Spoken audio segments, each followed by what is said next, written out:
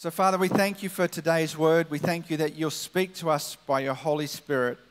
And, Lord, that we would have a fresh and important understanding of everything you're going to say to us today. In Jesus' name, amen. So, um, last week was pretty hectic. Um, it may have exceeded your capacity to uh, write down everything understand everything I talked about. So I encourage you to go and watch on our YouTube channel and to uh, look up Saving Grace Church on YouTube. It's the one with the red cross. You can't miss it. And re-watch last week so that you can just kind of um, get it in your head what I was talking about because there were like 30 plus scriptures we went through in one hour. So it was very, very hectic. And uh, I, I, just feel that that would be a good one for you to sit back and rewatch. And, and to lead up to today, part four of the Holy the last three weeks, missed any of the last three weeks, I do suggest you go and catch them on YouTube and so that you can be up to date because this is such an important topic, such important understanding of the Holy Spirit. And just to recap, we examined two prophetic words in the Old Testament last week. The first one was in Ezekiel 36, so let's read that word. I will sprinkle clean water on you, and you will be clean. I will cleanse you from all your impurities and from all your idols. I will give you a new heart and put a new spirit in you. I'll remove from you your heart of stone and give you a heart of flesh. And I'll put my spirit in you and move you to follow my decrees and be careful to keep my laws. And so, what we examined last week was that was the Spirit, the Holy Spirit that is given to us that we are baptized with when we become a new believer. But then we looked at a prophecy in Joel, and uh, this is Joel 2 28 to 29. And afterward, I will pour out my spirit on all people. Your sons and daughters will prophesy. Your old men will dream dreams. Your young men will see visions. Even on my servants, both men and women, I will pour out my spirit in those days. And so that prophetic word was talking about the empowering of the Holy Spirit, was talking about the baptism in the Holy Spirit, similar to what happened in Acts 2 when they were all gathered together in the upper room and the Holy Spirit was poured out on them and they spoke in other tongues. And I, I won't go over all of those things that we discussed last week. You can catch them in part three on YouTube. But there is a third work of the Holy Spirit that I promised to speak about this week, and it is as important as the first two that we spoke about. And it's very good that we can get a better understanding of this. And we're going to begin in John 7 37 to 39. On the last and greatest day of the festival, Jesus stood and said in a loud voice, Let anyone who is thirsty come to me and drink. Whoever believes in me, as scripture has said, rivers of living water will flow from within them. By this he meant the Spirit, whom those who believed in him were later to receive. Up to that time, the Spirit had not been given since Jesus had not yet been glorified. So it's very important to have an understanding of what feast Jesus was talking at so that you can understand the picture that Jesus was illustrating here. This was the Feast of the Tabernacles. It's very important to have this understanding because you will start to see why Jesus was talking about rivers of living water when you understand what they did at the Feast of the Tabernacles. It was a festival rich in symbolism, a time of remembering how God had through the wilderness and into his promised land. So remember, the people of Israel, they broke out of Egypt, they went through the wilderness, and after 40 years, they went into the promised land. Well, guess what? In the wilderness, you need water, right? You need water. And on each of the seven days of the feast, a priest drew water from the pool of Siloam in a golden flagon, a golden jug and he brought it in a procession to the temple and they, they had trumpets that would blow joyful music as they brought this golden jar this golden flagon of water to the temple and they would pour it into a bowl uh, and this bowl was beside the altar, and a tube or like a pipe would take that water from the bowl to the base of the altar. And this would be a reminder to the people that God was their provider, not only in the wilderness, but in the rains that came for their harvest. And the Feast of the Tabernacles, part of this feast was a celebration of God's provision of rain and water for the people. Isn't that interesting? This is so good that you have this understanding so you understand why Jesus is using an illustration of rivers of living water. It was a symbolic thanksgiving to God. And Isaiah 12:3 is a verse that is used at this festival. And what is that verse? We read about it. With joy, everyone say, with joy, you will draw water from the wells of salvation. And they were prophetically speaking about drawing from the wells of salvation this joy. It was the verse that was given for this particular festival. And they were talking about the water that God gave in the wilderness. They were talking about the rains that came for their crops. But Jesus was going to say, You have a real need for physical water, but you have a greater need for a spiritual water, a salvation that is going to come when you drink of me. And John clearly defines it in case you were confused says it will be the Holy Spirit in you that will be that river. Not only a river, but rivers of living water will flow from you. Now, if you know anything about a river, it has a source. And the river's source usually high up in a mountain or in the hills, and the river flows. You know, it's maybe a little creek and it gets bigger and bigger, and it becomes often a mighty river. And what we see here in the Swan River, you know, is the result of tributaries of water flowing in to the Swan and becoming bigger and bigger as more creeks and rivers flow into that river. But if we didn't have source, the Swan River would dry up. You know, the, the rivers would dry up if there was no source of water flowing to create that water. Have you ever been into Guildford and seen the Swan River really high after a lot of rain?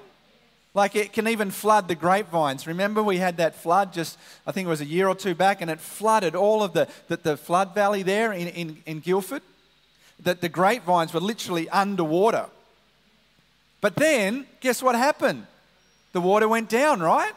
It's not flooding grapevines right now. Why is that? Because the flood of rain is not coming. You know, we're coming into spring and summer, and so the level of the river has gone down. And so Jesus was saying here that there is a source that you need for this river to flow out of you. And that source is found in me. He talks about it again. Vine and that you know we are connected. We are branches connected into the vine. Guess what? Sap. Sap continually flows through the vine. It, it draws water up in, from the ground creates sap which flows into the fruit and creates fruit. If you are cut off from that source you're dead. And so, this continual illustration that Jesus is giving is that we need to continue to be filled from the source to have these rivers of living water pouring out of us means that we have a source that we're always drawing from. Or our river will go down, just like the Swan River goes down when there's less rain and goes up when there's more rain. Now, Jesus said this on the eighth and last day of the feast. Now, what happened on the eighth day was no water was brought from the pool of Siloam. Was only brought for the first seven days, and on the eighth day, no water was brought from the pool.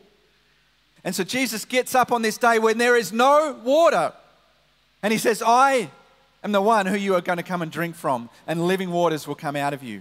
So when there was no physical water, Jesus was saying, I am the supply that you need.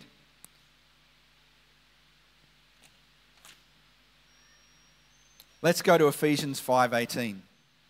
Do not get drunk on wine, which leads to debauchery. Instead, be filled with the Spirit. This word, be filled, has a particular Greek tense, which means uh, to be filled, to, to always being filled, okay? To continually be filled. The Greek tense for this word is a continual process of filling. So it's not just saying be filled once, but it's saying continually be filled. That's what the Greek tense of this verse is saying. Being filled. Not be filled once only, but being filled. A continual process. The river's source in us should not dry up. The Swan River should not go down so low. You know, the, the Holy Spirit in us needs to be rivers of living water flowing out of us. As it flows out of us, we need to keep being filled so that we can continue to flow. And there are two ways the continual filling of the Holy Spirit is depicted in the New Testament, and in particular the book of Acts. And I'm going to describe to you the two ways the continual filling of the Holy Spirit is important in our life. So I hope you're writing notes today, guys. I hope you're writing this down because this is so good for you to understand this. The first is when we have a time of need. And I'm going to give you three specific examples of a time of need when the disciples or the people of God needed the Holy Spirit to fill them. And the first is found in Acts chapter 4, verses 1 to 13. Peter has been speaking to the crowd, and um, the priests, in verse 1, the priests and the captain of the temple guard and the Sadducees came up to Peter and John while they were speaking to the people. They were greatly disturbed because the apostles were teaching the people, proclaiming in Jesus the resurrection of the dead. They seized Peter and John, and because it was evening, they put them in jail until the next day. But many who heard the message believed, so the number of men who believed grew to about 5,000.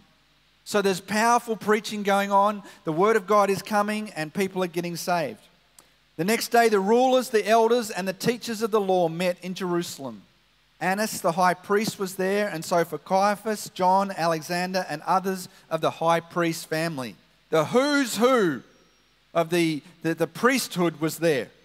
They had Peter and John brought before them and began to question them By what power or what name did you do this? Now remember Peter. Remember Peter. What did Peter do the night Jesus went to the cross? He denied Jesus, right? Didn't remember the servant girl said to him, You were with him. And he goes, No, I wasn't. In fact, the Bible says that Peter called down curses. You know, he swore and said, I do not know him. Three times he denied Christ. And, and here's Peter being challenged by what power or what name did do this? Then Peter, verse 8, filled with the Holy Spirit, said to them, rulers and elders of the people, if we have been called to account today for an act of kindness shown to a man who was lame and are being asked how he was healed, then know this, you and all the people of Israel. It is by the name of Jesus Christ of Nazareth, whom you crucified, but whom God raised from the dead, but that this man stands before you healed. Jesus is the stone you builders rejected, which has become the cornerstone. Salvation is found in no one else, for there is no other name under heaven given to mankind by which we must be saved. When they saw the courage of Peter and John and realized that they were unschooled, ordinary men, they were astonished. And they took note that these men had been with Jesus. Now, if you remember back to what we taught in the last few weeks, the Holy Spirit's role is to glorify Jesus. Okay? And it said there that they were filled with the Holy Spirit. Now, when it says that they were filled, it literally means they were filled right then when they had to speak. Peter stood up and he was filled right then by the Holy Spirit.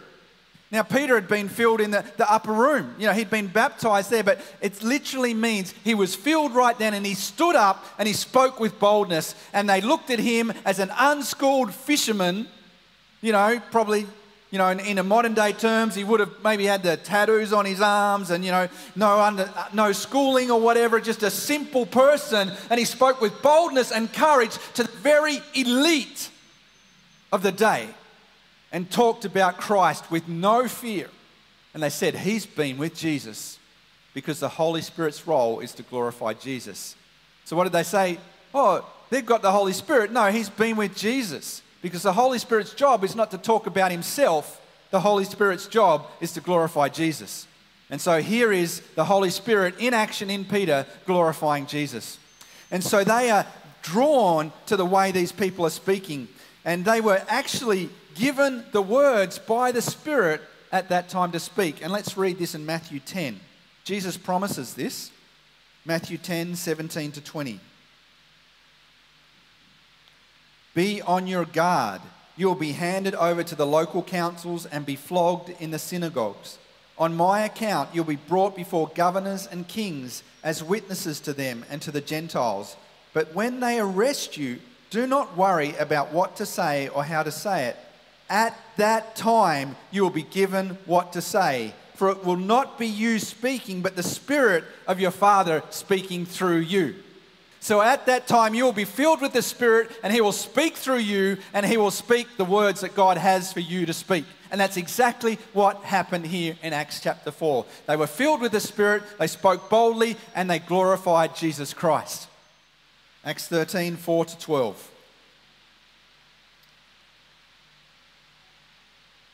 This is on the island of Cyprus. So, verse 4 The two of them, sent on their way by the Holy Spirit, went down to Seleucia and sailed from there to Cyprus. When they arrived at Salamis, they proclaimed the word of God in the Jewish synagogues. John was with them as their helper. They traveled through the whole island until they came to Paphos. There they met a Jewish sorcerer and false prophet named Bar Jesus, who was an attendant of the proconsul, Sergius Paulus the proconsul, an intelligent man. So this is a Roman, okay? He's not a Jew, he's a Roman. Sent for Barnabas and Saul because he wanted to hear the word of God. But Elymas, the sorcerer, for that is what his name means, this is this guy Bar Jesus, opposed them and tried to turn the proconsul from the faith. Then Saul, who was also called Paul, listen to this, filled with the Holy Spirit, looked straight at Elymas and said, You are a child of the devil and an enemy of everything that is right. You are full of all kinds of deceit and trickery. Will you never stop perverting the right ways of the Lord? Now the hand of the Lord is against you. You're going to be blind for a time, not even able to see the light of the sun. Immediately, mist and darkness came over him, and he groped about, seeking someone to lead him by the hand. When the proconsul saw what had happened, he believed, for he was amazed at the teaching about the Lord. So, this um, thing where it says there in verse 9, then Paul, Saul, who was also called Paul, filled with the Holy Spirit, is that same Greek tense that he was filled at that moment with the Holy Spirit to oppose this demonic man, this demonic force that was opposing him and the Word of God. And so, in that moment, the Holy Spirit comes upon Paul, fills him with power to speak and to do a miracle that this guy will not even see anymore, so that the proconsul will be shown the power of God. And what did Paul say? That the power will be there to confirm the word. And that's exactly what happened. He was filled with the Spirit at that moment, and he was able to combat the opposition And in Acts 4, again, near the end of Acts 4, verses 23 to 31. So after Peter and John speak, uh, to the, the Sanhedrin that we talked about, they, they get released and uh, they get let out. And in verse 23 of chapter 4, on their release, Peter and John went back to their own people and reported all that the chief priests and elders had said to them. When they heard this, they raised their voices together in prayer to God. Sovereign Lord, they said, You made the heavens and the earth and the sea and everything in them. You spoke by the Holy Spirit through the mouth of your servant our father David. Why do the nations rage and the people plot in vain? The kings of the earth rise up and the rulers band together against the Lord and against his anointed one. And the people in the shopping center want to kick us out of the shopping center, etc., etc. Indeed, Herod and Pontius Pilate met together with the Gentiles and the people of Israel in this city to conspire against your holy servant Jesus, whom you anointed. They did what your power and will had decided beforehand should happen now, Lord, consider their threats and enable your servants to speak your word with great boldness. Stretch out your hand to heal and perform signs and wonders through the name of your holy servant Jesus. after they prayed, the place where they were meeting was shaken, and they were all filled with the Holy Spirit and spoke the word of God boldly. So here it is again. It's happening again. You know, Peter and John were in the upper room. Peter and John were there, you know, in the Sanhedrin, and here with the believers being filled again, why? To be empowered to speak the word with great boldness. And then we see what happens to the believers. You can read about it straight away after that heart. They start selling everything they own and they come and bring it to the church. You know, there's nothing holding them back. They're sold out to the Lord because they're filled with the Spirit and they don't care anything about except glorifying Jesus with their life. And so here we see three examples, three examples of the Holy Spirit being filling these people because they had a time of need. And uh, I want to tell you about my experience, which I've shared with you before. When I was in Burundi and I was called to the presidential palace to have dinner with the president and with his uh, cabinet. And we were there with the team. And I was asked uh, when I was on my way to the toilet uh, to speak in front of the president. It's a weird kind of request when you're going somewhere to do something and then you get asked to speak to the president. And I said, okay, thinking that I would have time to prepare. As soon as I sat down, they came to me and said, Okay, you can get up and speak now. this is not, you know, some, you know, people that you just meet on the street. This is the rulers and leaders of a whole nation. And you know what? The Holy Spirit just gave me the words. Right then, at that moment, I was filled with the Holy Spirit, and He gave me the words to speak. And this is what I'm saying. I had time of need. I had nothing prepared. I had no, you know, understanding of what I was going to say. But at that moment, in front of the kings and rulers of that nation, the Holy Spirit filled me with power, and I spoke His word with boldness, and I saw a work of God in that night. And it is just so wonderful to see this actually happen in your life, to see Scripture literally happening in your life. It's so awesome. Another time when we had a need, we were in Ethiopia and we had traveled me and one other guy, all the way to Ethiopia to speak to a great crusade in Ethiopia. And we got to that crusade and we were we just entered into the, the it was an open area. There were probably five or six thousand people there. And the guy at the front was preaching against us. And the translator said to us, He's saying that these Westerners, these white people, will never preach on this platform. And we're going, Hang on, we, we just come all the way from Australia to preach on this platform, and he's saying that there's no way this will happen. And so I said to the guys, You need to go back and pray, and I'm going to come and I'm going to sit at the front and I'm going to see what God tells me to do. And so they went home to pray. I went and sat at the front of the platform uh, where they. And uh, I was just there watching them speak, what they were doing. And um, then the Holy Spirit started to speak to me. And it was during the choir singing and dancing on the platform. And the Holy Spirit said to me, Chris, I want you to get up there and dance with the choir on the platform. And my response was, White men can't dance. I don't know if you saw that film, White Men Can't Jump, but white men can't dance. These guys are experts, you know, they've got the rhythm. It's Africa. I don't have the rhythm. You know, I'm this white guy. You know, I don't, I don't have that rhythm. But the Holy Spirit, Chris, get up and dance. And so I got up on the platform and I just started dancing with the choir.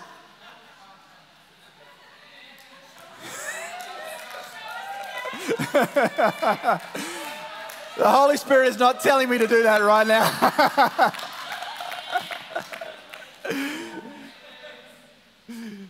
Anyway, the people went crazy. 5,000 people got up and started dancing. It was just amazing. We were all dancing, and no one was looking at me anymore because everyone was just dancing. And it was awesome because, you know, I wasn't really doing the two step right, but they were, they, they were dancing, and they were so excited. And, and I, I, went, um, I went back um, out after the, the, the, the, the meeting, and the guy came to me who was leading the whole thing, and he said, um, Pastor Chris, we need to have a meeting to talk about what's going on here and why you're not to preach. And I said, Yeah, that's right. We need to have that meeting. And so the next morning, um, we, we go home. Uh, sorry, the next morning we come to this meeting, and it's in this dark room, and we're there with all these pastors and everything, and the leaders of this denomination. And I'm sitting there with my friend and the translator, and they're all arguing. Because we, we had sponsored this crusade, but the people running the crusade had told all the people, we need your money to pay for the crusade. And when the advertisements were put up for the crusade, it said sponsored by our church, you know, our church in Australia. And so the people came and said, You said you needed our money. And it's sponsored by this Australian church, and you asked for our money. And so they, they got angry at the leaders, like they're taking their money. And so they had to deny us the right to preach so that they could show that it wasn't us, you know, so that the people wouldn't be angry. And so this guy who'd spoken to me, he said, if any of you let them preach, you'll be sacked, you'll lose your job. And so that's why they weren't going to let us preach. And so they're all arguing and fighting about this. And I'm trying to ask my translator what's going on, but she's arguing. You know, they're all arguing. And so my friend and I just start praying in tongues. And we're literally just sitting there because we don't know what's going on. And then the Holy Spirit just came down in that room. They began to weep. They began to, tears were welled up in their eyes, and they were weeping and crying, and they began to apologize and ask forgiveness from each other and from us. And that day we got up and we preached in that place, and the place went crazy. And, you know, when we went back, came back in the afternoon, they were still there. And they were still dancing. And into the night, I don't know, it was close to midnight, they were still dancing. And they were set free in that place. And it was the powerful movement of the Holy Spirit. And when I was preaching on that platform, come on, when I was preaching on that platform, a lady was sitting in the, in the, the audience, you know, thousands of people, and her, her bones were literally all twisted up. And I began to speak on a passage in Ezekiel about the valley of dry bones. And as I began to preach on that passage, I didn't see this happening. She came and told me afterwards. As I began to preach on that passage, her bone literally up, and her body became as new.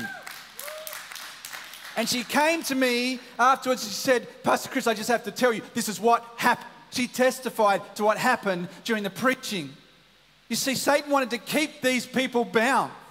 But the Holy Spirit wanted to set them free, and that's what happened. And because of that, we came back many times to Ethiopia and we see thousands and thousands of people saved.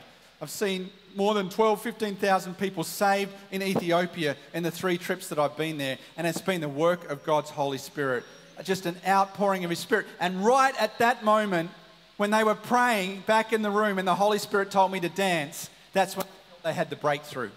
They stopped praying because God already told them that's it. The breakthrough happened when I got up and danced.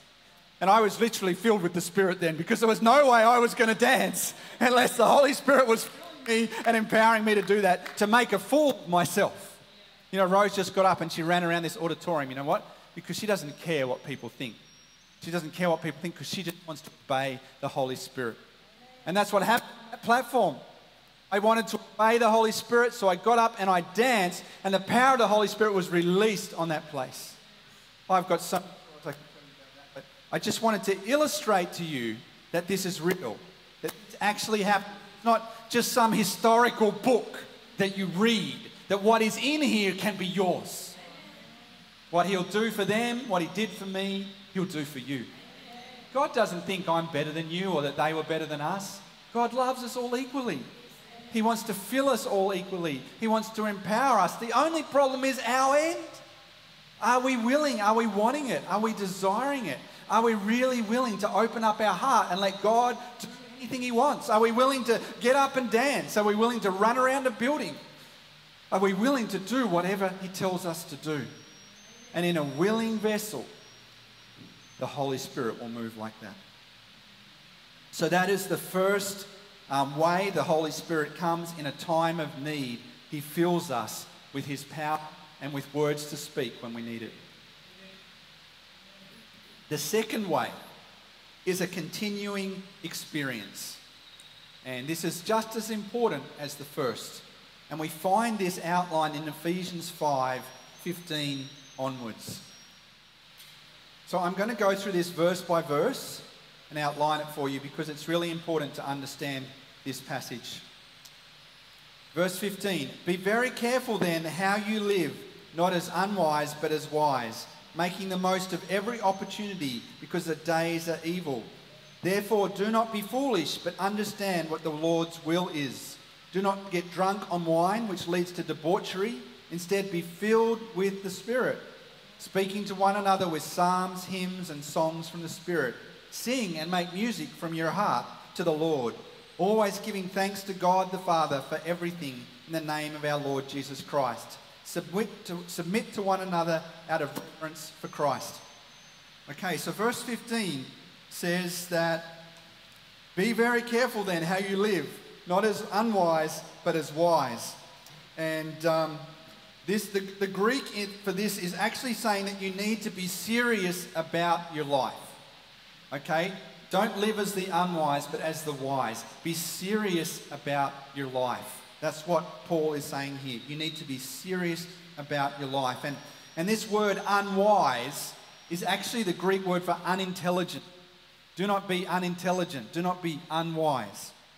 And so he is um, contrasting this and saying, really, quit your foolish behavior and stop acting as unintelligent people and be like the cultured and intelligent believers I know that you can be. So he's kind of, you know, slapping them and giving them a pat on the back at the same time. Saying, stop being fools, stop this idiotic behavior you're doing. In fact, you can be someone that God's called you to be. And he pats them on the back. You know, the cultured and intelligent believers I'm calling you to be. And I, I want you to understand something about Ephesus and the church in Ephesus. And let's go to Revelation chapter 2. I apologize, um, Glenn, I didn't give you this, this passage.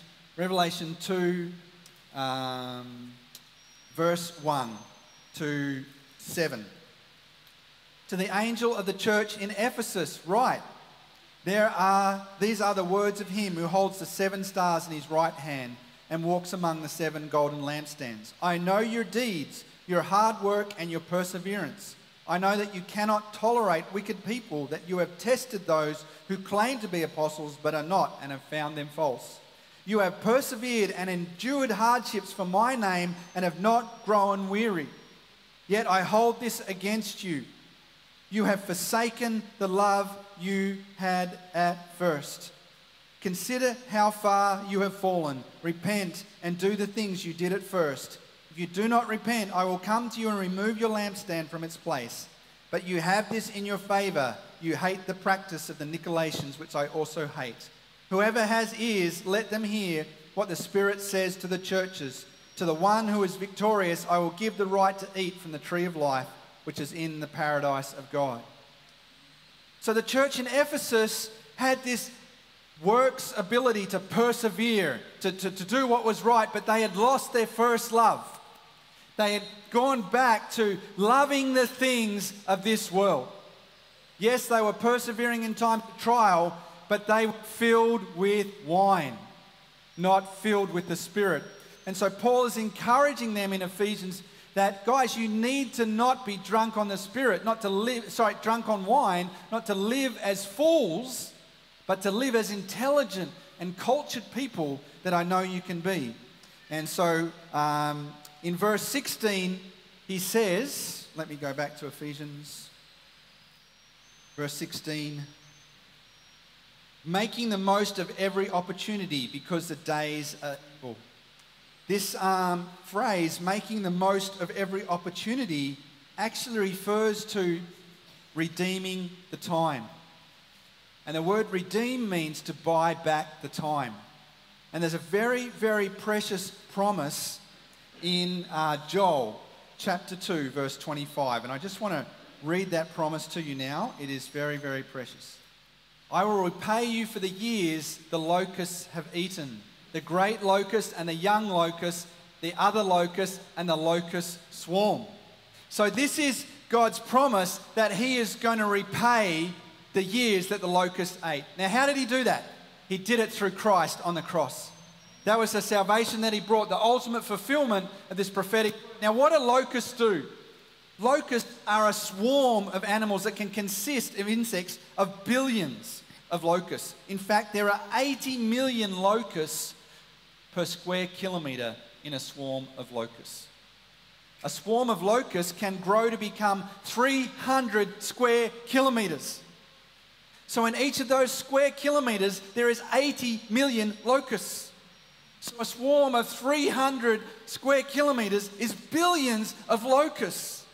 And they consume 200 million kilograms of food in one day. The thief comes to steal, kill, and destroy.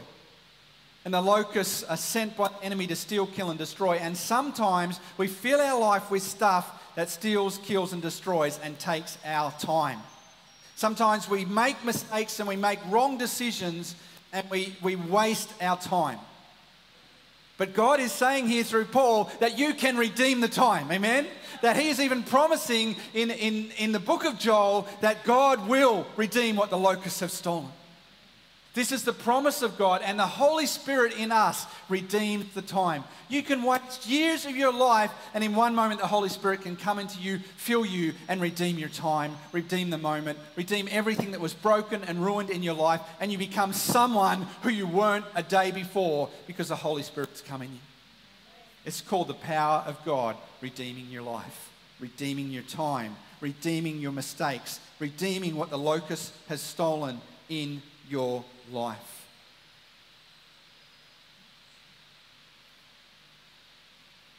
Verse 17 Therefore, do not be foolish, but understand what the Lord's will is. So, this word foolish means brainless. And often the lost opportunities we have had is because we were brainless. We were foolish. We did stuff that was wrong. We made mistakes we, we wrecked our time because we just made stupid mistakes. And I don't think I'm on my own to say that I've wasted my time at different times in my life. Who here has wasted their time at different times in their life? Yep. So about half of us are honest.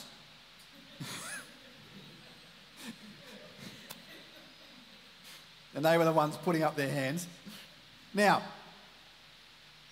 he's saying here that um, Therefore, do not be foolish, so do not waste your time, but understand what the Lord's will is. So, this, this passage, understand, that word understand means a coming together of the pieces. If you imagine a jigsaw puzzle, and if you hold up one piece of that puzzle, you have no idea what the puzzle looks like, right? It could be anything. But when all those pieces are placed down, you see what the picture looks like. And that picture is the will of God and our life is this jigsaw puzzle, and we think, I can't understand what the will of God is because you're looking at one piece. You need the Holy Spirit to show you all the pieces and how they fit together. And that's why when you look at the foolish things you've done or the mistakes you've made, you go, man, my life is a blow. It just, there's no way it can work because you're looking at one piece. But he's saying, don't be foolish, but understand. Look at all the pieces of what God has for you, His will for you, and bring them all together like a puzzle. Now, have you ever got a puzzle and built it in one minute? Takes time, right?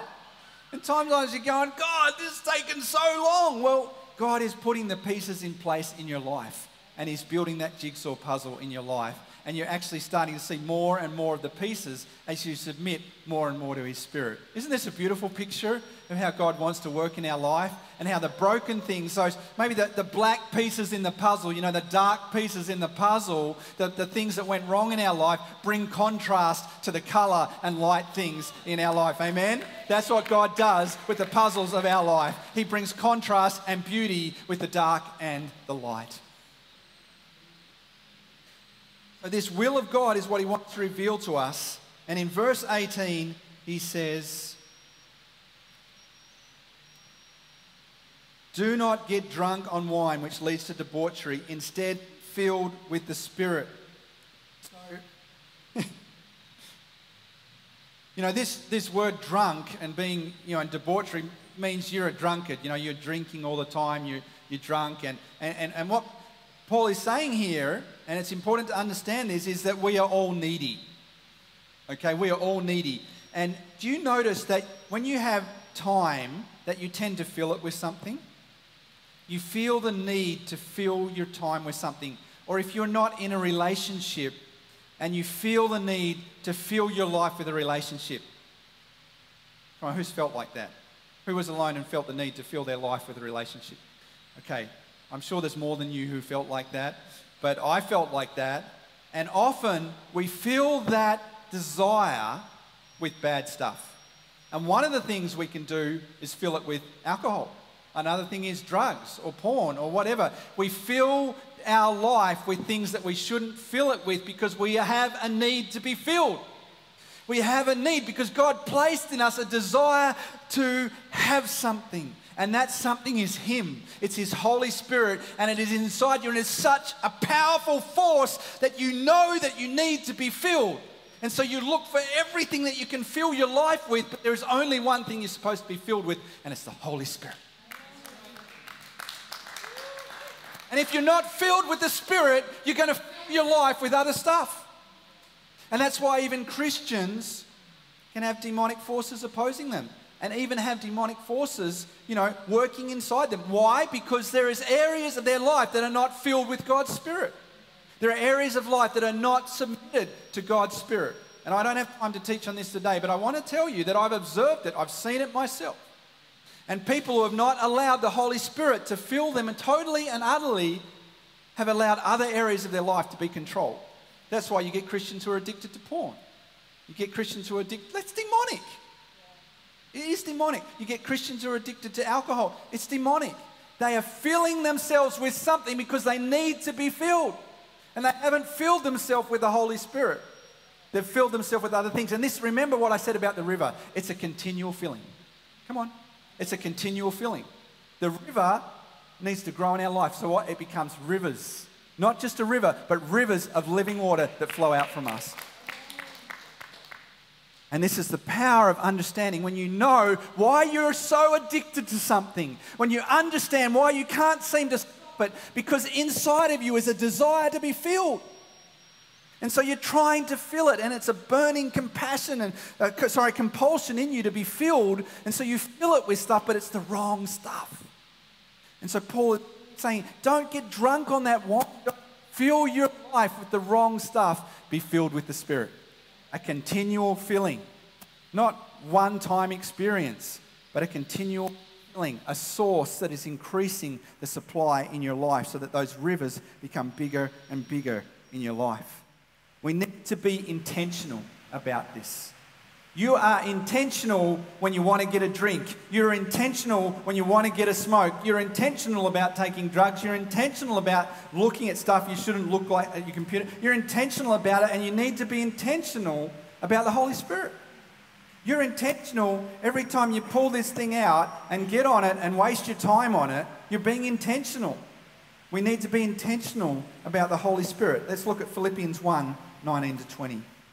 For I know that through your prayers and God's provision of the Spirit of Jesus Christ, what has happened to me will turn out for my deliverance. I eagerly expect and hope that I will in no way be ashamed, but will have sufficient courage, so that now, as always, Christ will be exalted in my body, whether by life or by death. Here you hear Paul's cry. What is his intention? That whether he's tortured, whether he's dead, whether he's alive, he wants Christ to be exalted in him. What does that word exalt means? It means to be um, multiplied, amplified, boosted in your life. He wanted Christ to be boosted and amplified in his life. Why? Because that's what the Holy Spirit does. It brings glory to Jesus. And so when we're being filled with the Spirit of God, we want to bring glory to Jesus. We want our life to amplify, like my voice is being amplified by these speakers. Come on, I, I can yell at you, but these speakers amplify my voice so that I don't have to yell, even though sometimes I get excited and I do raise my voice because I'm passionate about what the Lord is putting in my heart, but they amplify our voice, and our life is supposed to be amplifying Jesus. And that's the purpose of the Spirit's work in our life. And so we need to be intentional and choosing to amplify Christ in our life through the Spirit's work. So, um, those are the two ways that the Spirit works in us after we are initially received Jesus and we're baptized in the Spirit, we actually need to be continually filled. And those are in times of need and a continual experience that brings the waters out of us, the rivers out of us, the source. And I'm going to finish by talking about what it looks like when you are continually being filled with the Spirit. And um, Paul actually describes this in verse 19 onwards. Because we need to understand am I filled with the Spirit? Is that feeling going on in my life or is it not? We need to identify this, right? Because it, it's, it, Paul is telling us be filled with the Spirit. So we need to understand what it looks like. So, verse 19, he begins to talk about what it looks like. Instead, be filled with the Spirit is the last bit in 18. And then he says, speaking to one another with psalms, hymns, and songs from the Spirit. Sing and make music from your hearts to the Lord, always giving thanks to God and the Father for everything in the name of our Lord Jesus Christ. Submit to one another out of reverence for Christ. And then he goes on and he talks about wives and husbands and the role of the wife and the husband. Then he talks about children and the role of the children. Then he talks about fathers and their role towards their children. And then he talks about slaves and masters. And he's talking about all of the relationships that we have. Come on. And those relationships we have should look like this. And if they do not look like this, we need to go back and be filled again with the we need to say, God, fill me afresh today because my relationships do not look like this. My, my attitude does not look like this. And so obviously I need that infilling. I need to continue to draw from your source. And so let's break down in verse 19. Um, there, uh, in verse 19, uh, speaking to one another with psalms. This uh, word psalms means that hearts are filled with praise. So we speak to one another, the heart filled with praise. Think about how you speak to other people. Is there overflowing praise coming out of your mouth? That's the first indicator of whether or not we need to be filled with God's Spirit. Hymns, these are holy songs that we sing. Do you like to sing to God? Do you like to listen to worship? Do you like God's presence to fill your house? Or do you fill it with other stuff? Songs in the Spirit. What does this literally mean? Singing in the Spirit. What is that? Singing in tongues. It's literally singing in the Spirit. And God will enable you to sing in tongues. And sometimes you will see the worship team singing in tongues. Sometimes you will hear me singing in tongues. Praise God, it's the Holy Spirit taking over so you don't run out when I start singing in tongues. But singing in the Spirit. Here we are told to sing in the Spirit. It's something that God is encouraging us to do. The next is submitting, uh, sorry, um, always giving thanks. Let's read that. Sing and make music from your heart to the Lord. Sorry, I missed that. This make music is talking about making a melody, and the actual Greek for that is plucking the strings of an instrument, like plucking the strings of a harp. And, and that the instrument that Paul is talking about that we need to pluck the strings of to make music to the Lord is the instrument of our heart. And so this literally is saying making music from your heart to the Lord is plucking the string of the instrument of your heart to make a joyful music to the Lord. That's what he's referring to. So the instrument is your heart. So what plays in your heart? What are the strings that are plucked in your heart? What is the, the words that come out when you speak from your heart? Out of the mouth, the heart speaks. So what is coming out of our mouth? And so then he says in verse uh, 20, always giving thanks to God the Father for everything in the name of our Lord Jesus Christ. You know, um, our lives are filled with ingratitude. We're so often ungrateful and unthankful.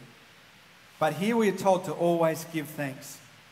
And so, one of the key indicators of whether God's Spirit is filling us and becoming a river of living waters, living rivers coming out of us, is our thanksgiving. You know, a key indicator is what we're talking. Are we complaining? Are we criticizing? Are we running other people down? Then we need a fresh feeling of the Lord because guess what? Jesus did not come to condemn the world but to save the world. and there is no condemnation for those in Christ Jesus. And God is the pruner. You are not the pruner. God is the gardener. It's His job to prune. It's His job to prune in His garden, not your job. Your job is to give thanks in all circumstances. And we need to understand this. When the Spirit fills you, you're going to be filled with thanksgiving. Because no one goes up to someone and glorifies Jesus by running another person down. And the Holy Spirit's job is to glorify Jesus. But when you come and encourage someone and lift them up, what are you doing? You're glorifying Jesus in that person. You're lifting them up. You're revealing the Holy Spirit's work in your heart. And so we should not be a people who are complaining and being negative and putting up, and we should be a people of thanksgiving. And so this is a key indicator of whether we need to come to the Holy Spirit and say, Holy Spirit, you need to fill me more and more because I'm just complaining here. I've got a negative attitude and I need you to come and fill me in this place because I need to be thankful. So look at the way you talk, the way you think. You know, sometimes maybe you're just thinking it, you're not speaking it, but you know what's in your mind. It's negative and critical and, you know, coming down on others. You need to say, Holy Spirit, fill me afresh. I need to drink from the source because I need to flow with living water. You know what negative words are? They're death. They're death. When you criticize and put people down, you're speaking death over their life. When you criticize your spouse in the marriage, you're speaking death over your marriage. Literally, you are. And we are called to have living waters, not waters of death, not poison. And so these living waters will be waters of thanksgiving, gratitude, and, and, and, lifting up. And the last one, this is the really tough one. Verse 21 submit to one another out of reverence for Christ. You know, the flesh doesn't want to submit to anyone, the flesh wants to be boss. The flesh wants to be numero uno, number one. I'm the one who calls the shots. And when you see a person who comes in and goes, you know, I'm so happy sub- to submit to authority. I'm so happy to submit to you. I'm so happy to do what you tell me to do. I'm so happy to consider what you want me to do is more important than what I want to do. You know, there's a person filled with the Spirit. Because they don't care about what they have to do. They just want to help others. They just want to be a blessing to others. They want to submit to each other. And when you see a person like that, who's overflowing with thanksgiving, who wants to be submitted, you see a person filled with the Spirit. Because what does the Spirit do? It's subjected to Jesus Christ. The Spirit is not there to talk about himself, He's not there to glorify Himself, He's there to glorify Jesus Christ. And what does Jesus do? He glorifies the Father. Jesus said, You want to come to the Father? You come through me. I'm the way, the truth, and the life, and no one comes to the Father but through me. You notice how people like you to talk about God, but they don't want you to talk about Jesus? Because Jesus is the way to the Father, He's the way of salvation. That's why you can talk about God being a God of love, and people will listen to you all day, but you start talking about Jesus dying on a cross, and they want to shut you down. The devil knows that Jesus is the way to the Father, and the Holy Spirit's job is to glorify Jesus so that the Father will be glorified. And our role is to lead people to Jesus, to point them to the cross, which will point them to the Father. And a, a, a, big mistake the church has often made is to, to just talk about God and not talk about Jesus. You know, and we're, all lovey dovey, but we're not talking about the importance of the cross. We need the whole gospel. Come on, we need to talk about Jesus and we need to understand that the Holy Spirit in us will always glorify Jesus. It will be submitted to Jesus. The Holy Spirit is always submitted to Jesus, just as Jesus was submitted to the Father. Remember what Jesus said? I only speak what the Father tells me to speak. I only do what the Father tells me to do. What is that? That's submission. Submission to the authority of the Father. And the Holy Spirit is submitted to the authority of Jesus Christ. And so we should be submitted to one another and be thankful and rejoicing in it. And when you see a person like that who's not getting drunk, who's not wasting their time on all kinds of distractions in their life, when you see a person who's singing psalms and songs, their heart plays music to the Lord, they pluck the strings of their heart, and out comes thanksgiving and rejoicing and no complaining, and then you see them willing to submit to one, there's a person filled with the Spirit. And you know what? You don't do it on your own. It is not a work of your own. You can't do it on your own because your flesh doesn't want to do this. That's why you need to be filled with the Spirit. Because it's the Spirit in you that does this. You can never do it on your own, and you've tried 20 years to be a more patient person. Maybe you've tried for 20 years to be a more thankful person. You can't do it. Your flesh. You need to be filled with the Spirit. And so we get down because we can't be who we want to be, and we've missed the point, and we fill our life with junk instead of going and filling our life with the Spirit, who will empower you to do all this. And I don't have, I, am not going to talk about um, uh, all of the relationships outlined here because that's a topic the day about husbands and wives and children and fathers and mothers and slaves and masters. Uh, all of this is really important, but you can read it you can go through and read the rest of Ephesians chapter 5 and 6, which continues on into the armor of God. And he continues to talk about what being filled with the Spirit is like, having the armor of God put on. It's powerful. Guys, you cannot read this and ask the Holy Spirit to teach you from this and not be transformed. You'll understand reading Ephesians 5 and 6 what a life looks like filled with the Holy Spirit. It's a life armored with God's armor. It's a life full of thanksgiving. It's a life overflowing with praise. It's a life that is happy to submit to authority and to one another. It's a life that is just filled with living water that is just flowing out of them, and you cannot miss it in a person because you see the Holy Spirit working in them, and you go, wow, that's amazing. You know what it is? It's a person submitted to the working of the Holy Spirit. I want to finish by telling you my experience of this there has been three or four key times in my life when I've been serving in leadership in another ministry or even in a workplace, in another workplace, and uh, I've been wrongly judged, or I've been put down, or I've been told that I'm doing the wrong thing when I know that it is a lie, that it is a misunderstanding, or it is someone else gossiping about me trying to run me down. And these have been key times in my life because I have wanted to react to that. I have wanted to, you know, get mad and get hurt and get angry. And the Holy Spirit has filled me at that moment and taught me how to honor those people, how to respect those people, and to never burn the bridge with that person. And I've seen time and time again God restore relationship when I've determined to honor and not to get angry, determined to honor and to forgive, determined to honor and not allow bitterness in my heart. And I tell you guys, the Holy Spirit will give you the. I could never have done it on my own. Never, ever. What was, you know, I, I don't want to talk about it because I don't want to dishonor those people, but what was done was just horrible.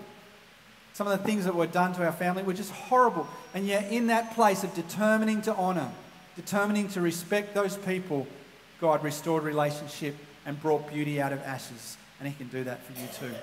You see, when we continually are filled with the Holy Spirit, these things just flow out of us. You don't even have to work at it because it's the Holy Spirit bubbling up in you and flowing. A river doesn't have to flow, it just flows. It naturally just flows and it can cut through the deepest, hardest rock. Given time, a river will cut out the Grand Canyon. Come on, given time, a river will cut out. And it doesn't have to do it by force, it just does it because it is what it is. And the Holy Spirit in you will do what the Holy Spirit will do. You just have to allow Him. You just have to cry out, Holy Spirit, I want to be filled again with you today. And I'm going to finish with last scripture, Acts 13 52. And the disciples were filled with joy and with the Holy Spirit. And I want to ask you do you want to be filled with joy? Filled with the Holy Spirit. Maybe you got baptized before, maybe you experienced an infilling of the Holy Spirit, but today you need to be filled afresh. You need to come back to that source of the living. Come on, music team, you can come forward. You want to come to that living source and you want to be filled afresh and you want to have that heart of thanksgiving. You want to have that heart of worship. You want to have that joy in you. You want to have that willingness to submit. You want to have that absolute abundance of the, the, the, the filling of every part nothing is addicted or filled with any other purpose in your life but Jesus Christ and His glory. He wants to do that today, and He will. But you need to open your heart that it happen. You need to say, Holy Spirit, that's me. I want to be filled today. I want to be filled. I want that joy. I want that thanksgiving. I want that heart of gratefulness, and I'm not afraid anymore. I just want what you want, Holy Spirit. And I want to give you the invitation to come forward and just kneel or stand or sit or whatever you want to do, but just make that decision to come forward and as an act of worship, as an act of submission to God's Spirit, come forward and let Him touch you again and fill you again, and He will.